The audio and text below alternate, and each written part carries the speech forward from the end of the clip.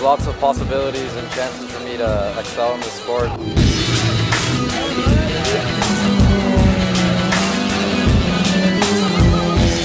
awesome car with good companies around it hopefully I can progress up their ladder system.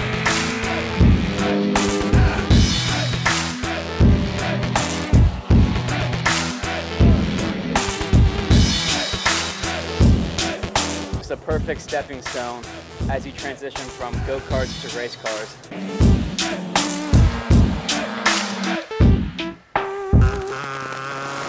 It is the most economical type of racing to get young karters into the cars and through the feeder series to really develop their talents to see if they like racing.